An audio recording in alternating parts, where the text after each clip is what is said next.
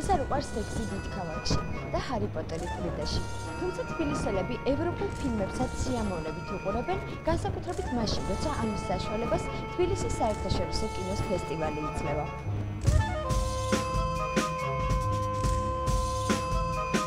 თბილისის მე-11 საერთაშორისო კინოფესტივალს უამრავი საზღვარგარეთიდან მოწვეული ხელოვანი დაესწრო. ჩვენებების ზუსტად ერთი კვირა გრძელდებოდა. 63 ფილმის ჩვენება კინო რუსთაველსა და ამირანში დილის 11 საათიდან იწყებოდა. საკონკურსო ნამუშევრებთან ერთად მაყურებელმა ქართული, ფრანგული, გერმანული და ბრიტანული კინოც ნახა.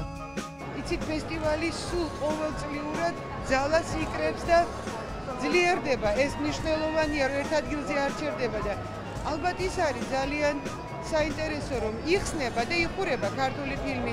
მაინც ოჩახ ამ ფესტივალის მესვეურებს და ყველას იმას, ვინც იღებს მონაწილეობას, იმიტომ რომ ჩვენ მაინც უკვე კინოს ტრადიციული ქვეყანა ვართ.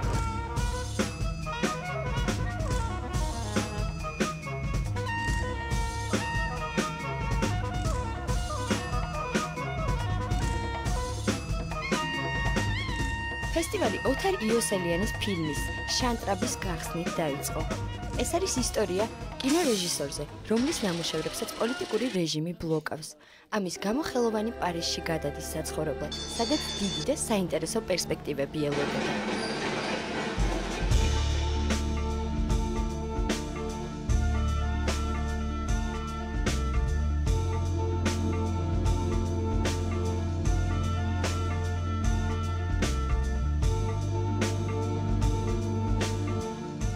ბევრი ადამიანი ნამდვილად აფასებს ყოველგვარი გადაჭარბების გარეშე ამ ფესტივალს და ვფიქრობ ეს მართლაც ძალიან მნიშვნელოვანი ფესტივალია უშუალოდ არა მარტო კინოსთვის, არამედ ჩვენი ქვეყნისათვის.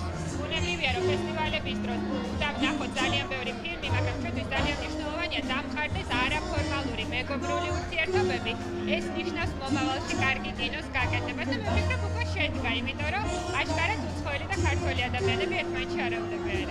And I think it's great. It's great. It's a wonderful way of, of, of, of opening up to what's going on in the world through cinema. ამირანის ფოიეში გიგა გოგატაშვილის ფოტოგამოფენა გაიხსნა. ფოტოები კინოფესტივალის გასული 5 წლის ისტორიას ასახავდა.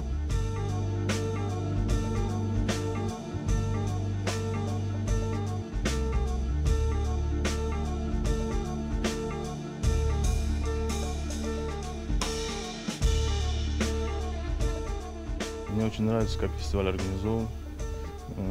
Очень интересные фильмы, программы в конкурсе, сильный конкурс. Ну, будем ждать решения жюри. ნამდვილი კინო და ჩემთვის არის ყველაზე მნიშვნელოვანი პროექტი, იმიტომ რომ მე ესეთი კინოპროექტი არ ვქონია. თბილისელი მაყურებელი დანარჩენ მსოფლიოს მსგავსად ძირითადად ჰოლივუდურ ნამუშევრების ყურებას ამჯობინებს. თუმცა ევროპულ კინოს თბილისის ფესტივალი ყოველ წელს უფრო და უფრო პოპულარულს ხდის. ფესტივალი როგორ მოგეწონათ? პირველი დღე არის მე რაც გავესარე, არ ვიცი. ფანტასტიკურია, ძალიან კაია და ძალიან მიხარია. რა სიტყვით წლევანდელ პრომეთეზე?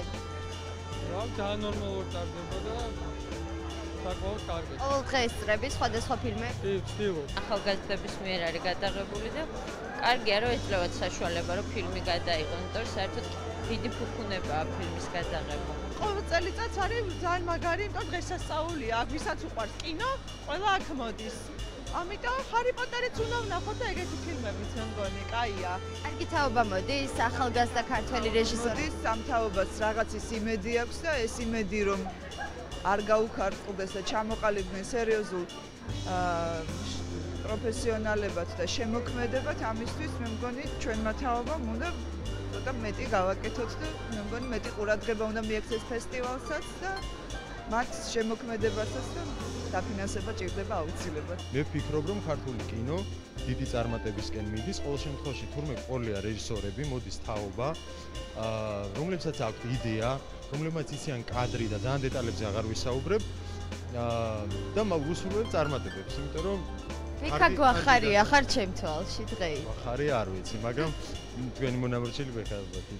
უკვე მეშვიდე დღეა, რაც თბილისში თბილისის საერთაშორისო კინოფესტივალი იმართება. მე დღესაც მოვედი კინოთეატრ ამერანში, ერთ-ერთ ფილმს რო დავესწრო. ნანკა კალატოზიშვილი.